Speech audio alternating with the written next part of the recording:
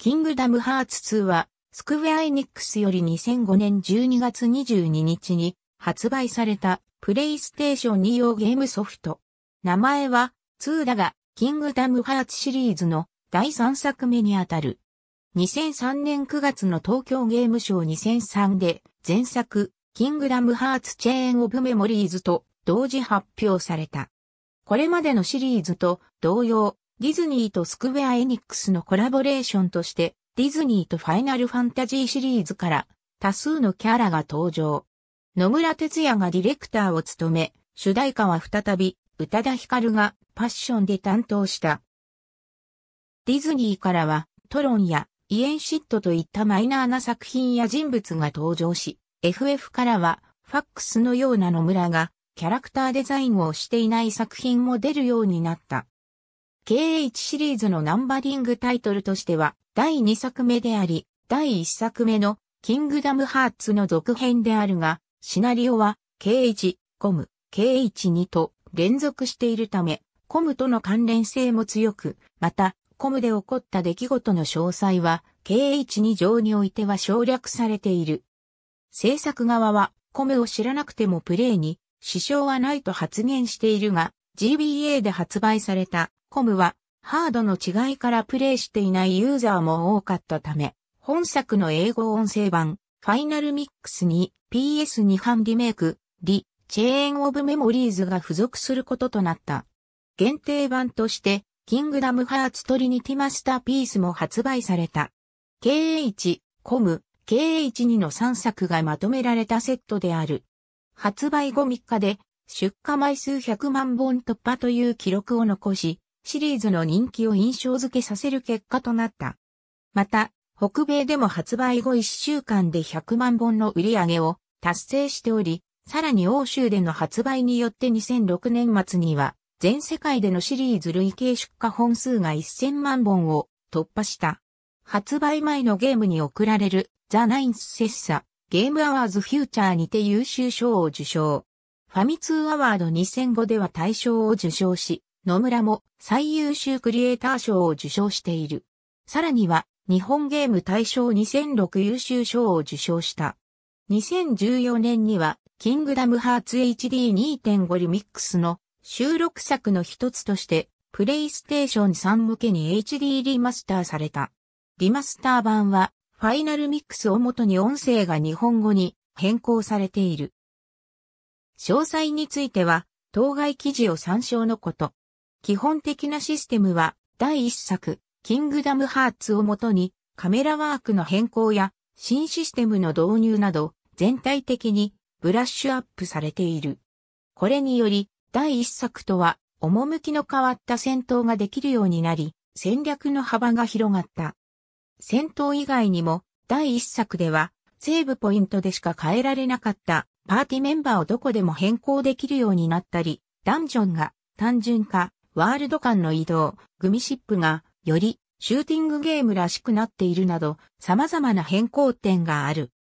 前作で戦う魔法、アイテムだったコマンド欄は戦う魔法、アイテム、ドライブになり戦う召喚、チェンジ、連、K のコマンド欄に切り替えられるようにもなった。それらの新システムの中から特筆すべきものを一家に記述する。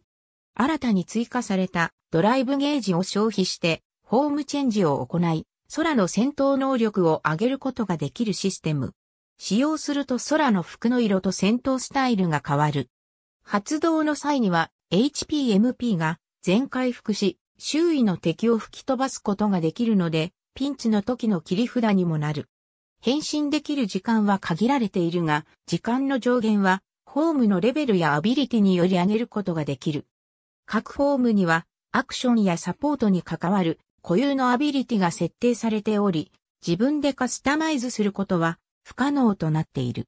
また、敵を撃破した後に発生する会話イベントなどは、変身したフォーム姿のままでイベントが進む。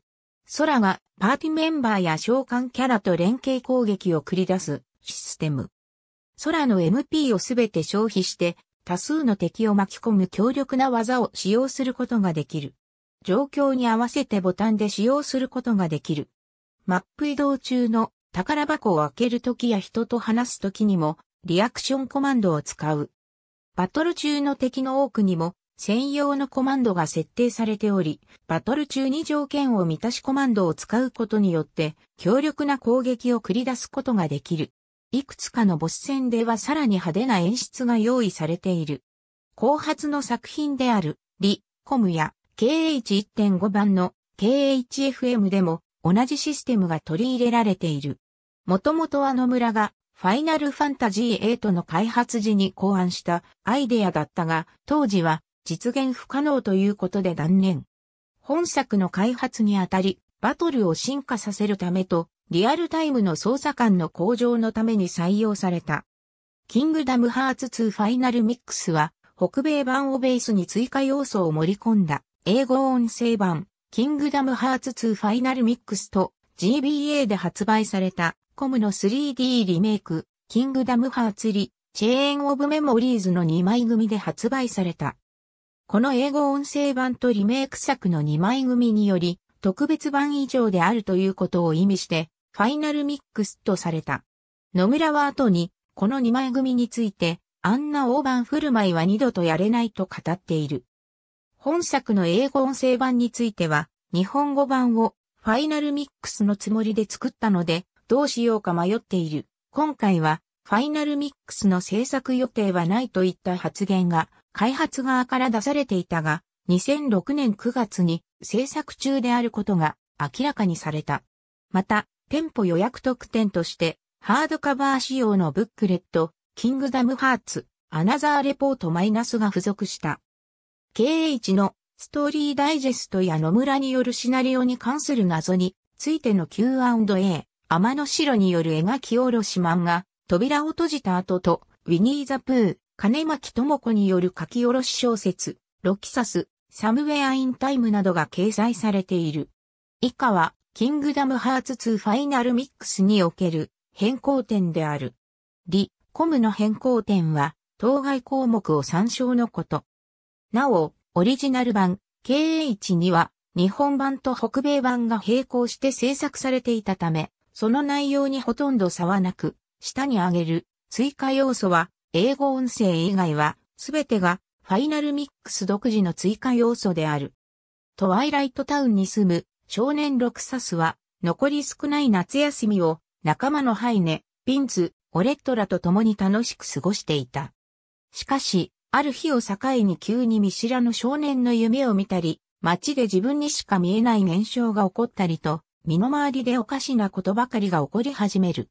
ロクサスは謎を追いかけていくうちに、自身の過去、そしてなぜ自分が、トワイライトタウンにいたかを思い出し、そして夢の中の少年、空と出会うも、姿を消す。その後空、ドナルド、グーフィーが記憶の眠りから目を覚ますと、そこは忘却の城ではなく、トワイライトタウンだった。わけもわからず、街を探索するうちに、王様と出会うが、列車に乗るよう告げると、どこかへ消えてしまう。三人の乗った列車は、不思議な塔にたどり着き、そこで、王様の師匠であるイエンシットから、世界に再び異変が起きていることを知らされる。ノーバディと呼ばれる怪物を率いる、サーティン機関が暗躍しているというのだ。